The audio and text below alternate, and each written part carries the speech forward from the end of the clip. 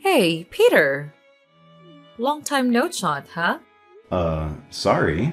Who's this? Oh, come on, Peter. How could you forget me so quickly?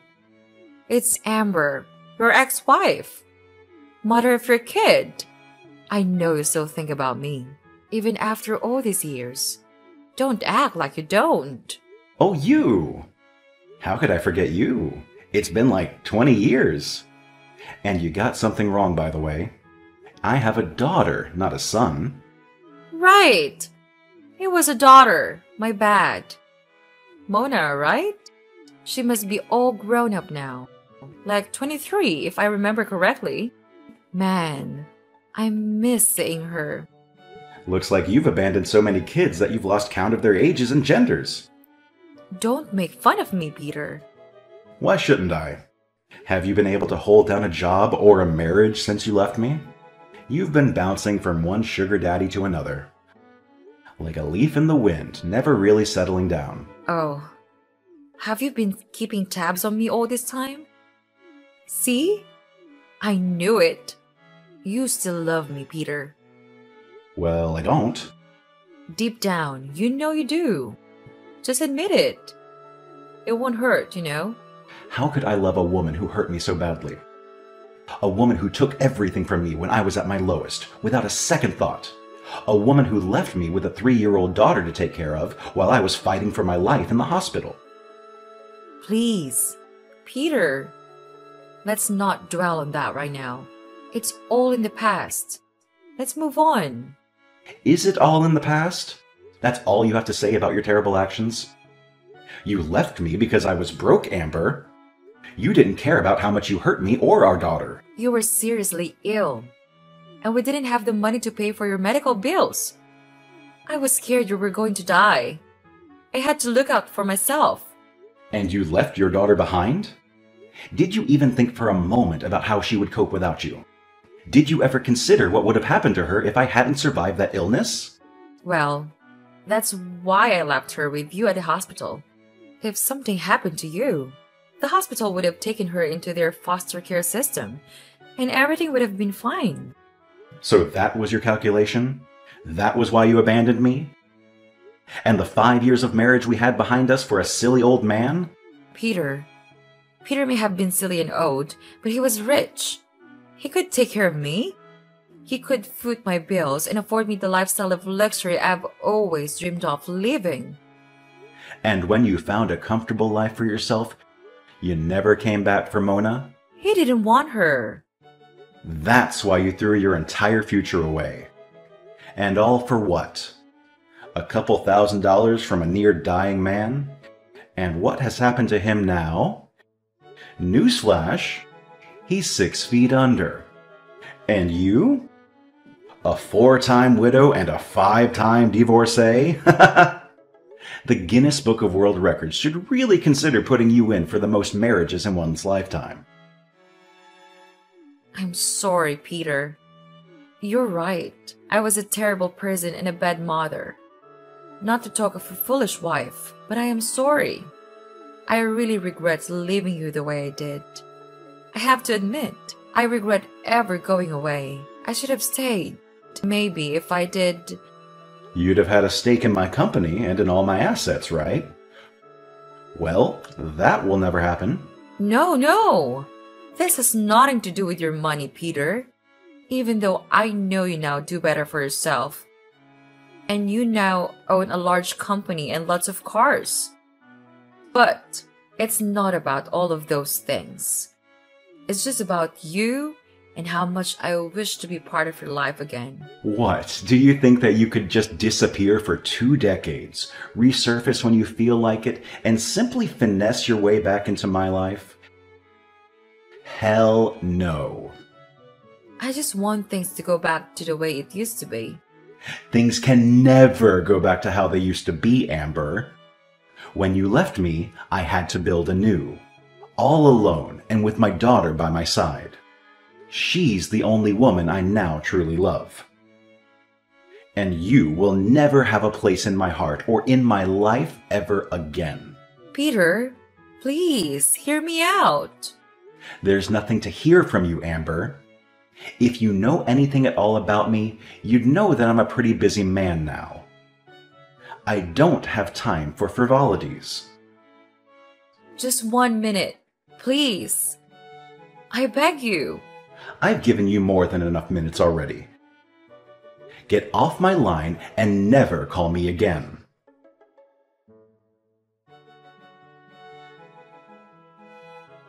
She did what? After all these years? Calm down, Mo. It wasn't as bad as you think it is. Anything involving that witch of a woman is bad even before inception. Oof. Wasn't that a little too harsh? Harsh? Don't even get me started on what's harsh, Dad. Harsh is her leaving you when you were sick and I was just three years old. Harsh is her dancing in the arms of an old, sickly drug lord all because he was richer than us. Harsh is her trying to come back into our lives and pretend like nothing ever happened. She better not try that around me, because she's gonna get burned. Are you really that angry at your mom, my princess? No. Correction. She's not my mom. She may be your ex wife, your ex lover, or anything you might choose to refer to her as. But she is Amber to me. Amber, the Wicked Witch. I understand how this may make you angry and spark up a lot of negative emotions. But let's be a bit more logical about this matter right now. How so? Amber was once my wife, Mona. She is also your mother. And that gives her a right of reportable, if not anything else. I really don't want to hear anything that woman wants to say to me or to you, Dad. People change. Mona, remember that. Though she did the wrong thing by leaving us when she did, I honestly feel a strong remorse for everything. Amber was the daughter of one of the biggest oil moguls in the state. I knew she had expensive taste when I met her, one that could even get violent at times. But I ignored everything and took her home anyway. Blinded by love at the time, she decided to follow a young broke man like myself, hoping all will get well soon. But it never did. She got disowned by her parents, and for the five years of our marriage, I made her suffer. Don't tell me you're feeling guilty for all that happened, Dad. We all have a part to play in every event that occurs in the process of our existence. We just have to figure out a way to solve the problems that challenge us. Oh, please, Dad. I'm really not in the mood for your parables and words of wisdom. I just need you to block that woman's number this instant. You have a big contract to secure in two days' time. You should be preparing and not considering anything that evil woman said to you. She's bad luck. You're right. Duh. I'm always right, aren't I? I guess I have a confession to make, though. Oh, really? Tell me. I need you to promise you won't get upset. I promise. I never really got over your mom. What? Amber really hurt me, and there's no debating that. But in 20 years, I've been unable to waive the feeling that I pushed her to a life of promiscuity. Don't get it twisted. Amber was the light of my life when we first started out. I'm the one at fault here. I just couldn't satisfy her needs. Dad, you can't possibly take the blame for something that was totally not your fault. You've just made me hate her all the more now. That was not my intention, Mona. It's just the truth. She's one of the reasons I decided to man up and build this empire. Ugh. I can't believe you right now, Dad. You can't blame a man for wanting to spend his money on the woman he loves, can you? She's not your woman anymore. Stop saying that. You're making me want to puke. She was my first and only love, Mo. You have to understand me. You're not getting back with Amber, Dad. And that's final. Well, then, maybe I should marry Shanice.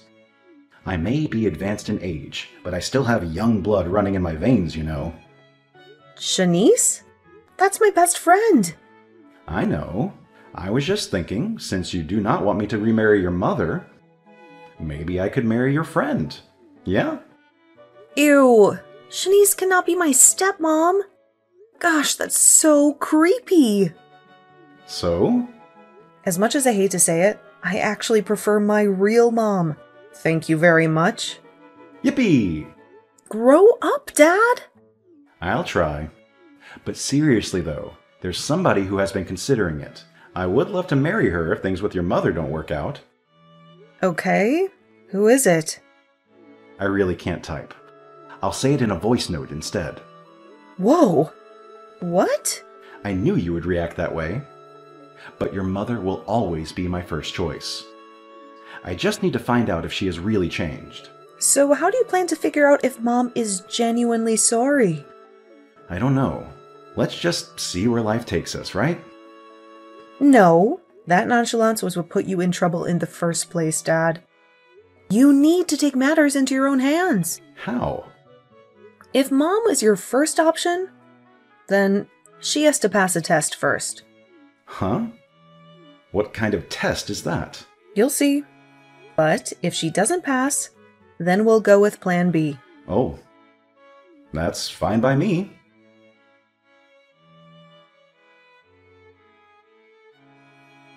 Hello, Mona? How are you doing? Who is this, please? Your mother, Amber. Oh, I didn't think you still existed. Peter didn't tell you I called in? I guess I just hope your wicked head got run over by a truck. It's a shame your desires for me were not granted. They will be sooner or later. Trust me. Well, I didn't call to revel in our animosity. I'll deal with that some other time. So, what do you want? I heard Peter is dead now. Peter is dead now. Do you see how you said that so casually?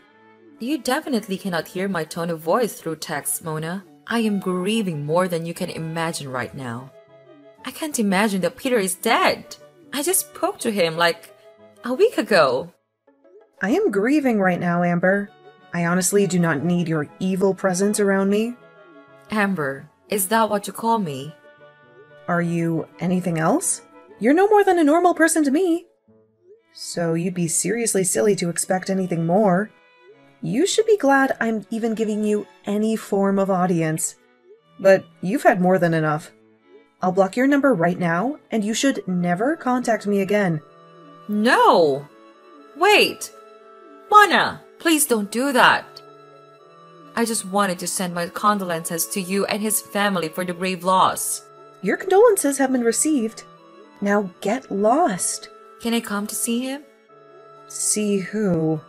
A dead man? A few minutes alone with his body will mean the entire world to me. I never got the chance to tell him how sorry I was when he was alive. I might as well do it now. I'll have to die as well for that to happen, you witch. You're the reason we went through so much pain and suffering in the first place. I'm begging for your forgiveness. Mona, please. I'm sorry for all I did to you and Peter. It's too late now, Amber. Please, let me grieve in peace. Then I can at least have an invite to his funeral. What? How much lower can you stoop, Amber? Do you have no shame at all? You left this man when he had nothing. And now you want to attend his funeral? If anything, you should stay as far away from him as you can. You silly ingrate! Enough! Enough of this insult! I did not come here to trade words with you, little girl. I am demanding that you give me an invite to my husband's funeral this instant. I've already told you. The answer is no. And don't you dare refer to yourself as my father's wife. You're not.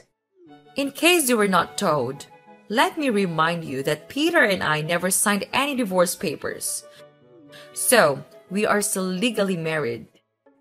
And as such, I have all rights in the world to any of his properties I so desire. I'll be at the funeral whether you like it or not. Let's watch and see.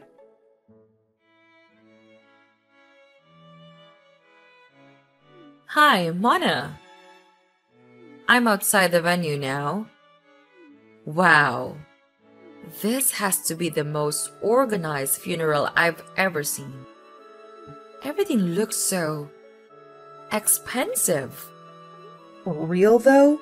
Are you that desperate, Amber? You didn't even get an invite. What are you doing here? I just want to take back what's rightfully mine.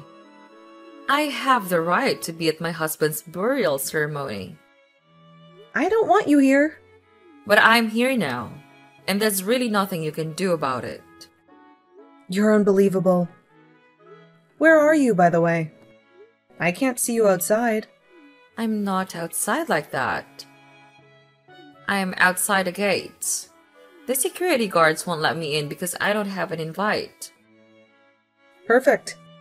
You might just as well stay there for the duration of the service. No! I'm coming in, even if I have to force my way in. Try telling them you're dad's wife and see if they let you in. Yes! That's a bright idea. You get more stupid with each passing second. They refused to let me in. Oh? Why? They said Sir Peter had no wife. Exactly. That's what I wanted you to hear. You do not exist in this environment. So, you had better return to wherever it is you came from. Now let me be. We're taking Dad's body to his private graveyard now. So, ciao. Wait, is that a golden casket I see? Wow, it shines so brightly in the sun. Was it really made of gold? Yes, 100%. Wow, Peter was even richer than I could imagine. Please let me come in and offer my condolences. I've told you time and again, your condolences are really not needed here. I've sent bouncers to kick you out of the premises. You can't do that, Mona. I'm your mother. Oops. Already did.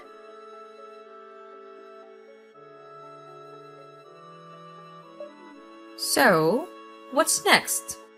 I've asked you to stop contacting me, Amber. I'm not contacting you, silly girl. I'm simply asking what's next. How? I don't understand. Now that Peter has been buried, what's the next step? I don't seem to catch your drift. What next step are you asking about? There has to be a will, no?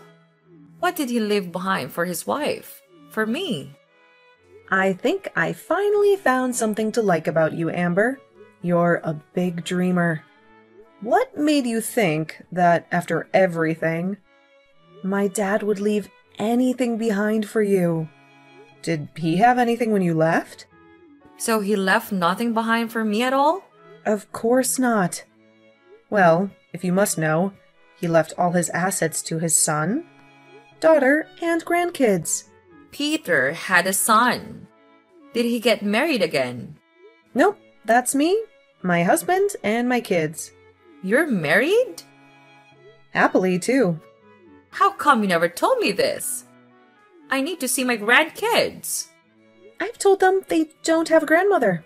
You cannot do that, Mona. I'm still alive and well. I don't care. Well, since Peter left nothing behind for me, I want something that is already of no use or value to both of you. Which is. The golden casket y'all buried six feet into the ground. What? I said I want the casket. You all are so selfish and greedy. You can use a casket made of pure gold to bury your father, but you cannot give me a morsel to hold on to? In fact, I'm already on my way to where it was buried.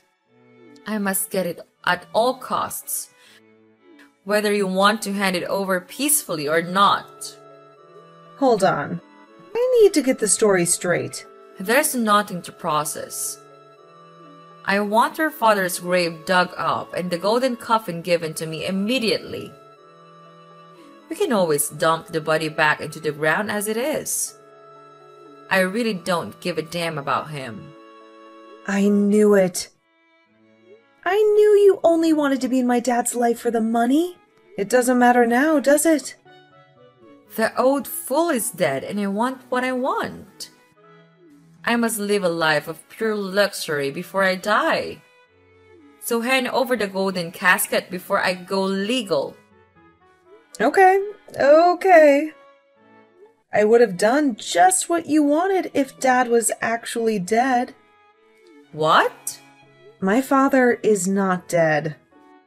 So, what was all that show about? It was a trick. A test, if you will. Dad wanted to see if you were fit to come back into his life. Well, needless to say, you failed, lady. Failed? Amber doesn't fail. As a matter of fact, I'm standing right over his grave with a shovel and a massive hand drill. I don't care what it takes. I'm going to get the casket one way or another. Jeez. You really are a crazy person. I told you. I don't know where you are right now or what you're high on, but that's not Dad's graveyard. I don't understand what's going on. Dad was not the one who died. Huh? It was my father in law who died. He was also well to do, and was the one currently lying beneath the earth in the coffin made of gold. So, if you still want that, feel free to meet my husband. No, Mona, please. You have to forgive me. It's too late now. You were and will always be a filthy gold digger. You were blessed enough to get a second chance, but just like every other thing in your life, you threw it to the dogs. Now you'll never have a place in this family or in Dad's life ever again. Let's talk about this like adults. Mona, please.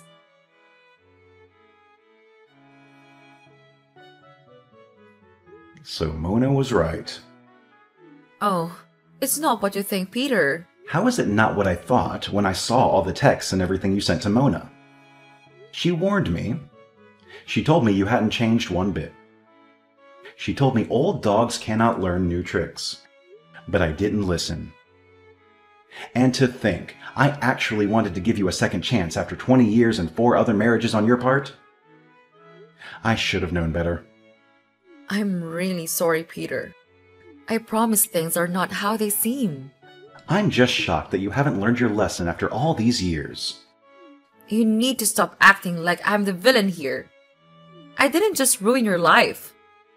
You ruined mine too. It was your fault that my father disowned me in the first place. I was living large, Peter. You took everything away from me and gave me nothing in return. You would have had everything and more if you were just a little patient with me. By now, you would have been the queen of my world. You would have been in charge of all that I own. It's a shame you're still the same person, the same greedy and impatient person who only wants her own gratification and nothing else. I just needed some money to get by, Peter. It doesn't mean I don't love you anymore. But you were happy when you heard I was dead. Then you went after my supposed golden casket. Oh, Peter. I don't want to have this conversation anymore. You don't deserve a second of my time. I don't ever want to see you around my life, my house, or my kids again. Try me, and you'll face the music. That reminds me. I need to see my grandkids, Peter. I do not care if we're together anymore or not. Those children have nothing against me. You forfeited your rights as their grandma the day you abandoned their mother. There's really no need to say much about this. You have no right to see my kids or grandkids. In case you forgot, I'm still your wife. I never signed any divorce documents. Well, about that, I sent documents to your broke apartment downtown. Please sign them and get them back to me as soon as possible. I will not do that! If you don't, I'll send the law behind you. Don't play with me. Why are you doing this to me, Peter? Attached to the divorce papers, you'll find your copy of the invite to my wedding. You're getting married? Yes, to Tracy. Tracy? That's my ex best friend. Yes. Tracy was the only one who cared to check on Mona and me when you abandoned us. She was the reason we had anything to eat for more than six months after you left. My heart was crushed when she had to relocate with her husband. But now that they've gotten a divorce, it's only expedient that I give her the life she deserves. You cannot do that, Peter. I've already done it. I'm sorry.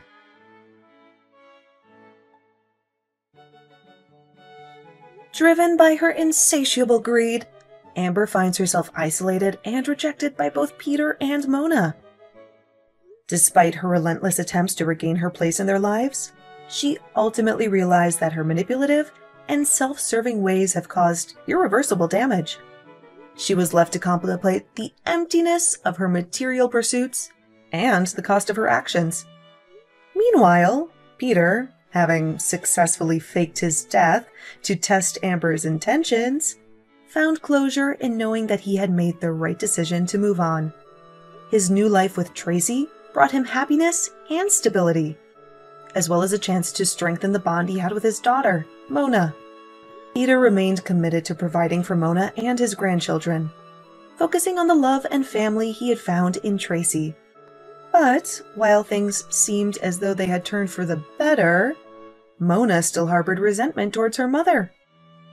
However, she learned valuable lessons about surrounding herself with those who genuinely cared for her. She embraced her role as a mother and wife and continued to thrive in her own family, breaking the cycle of dysfunction that nearly marred her childhood.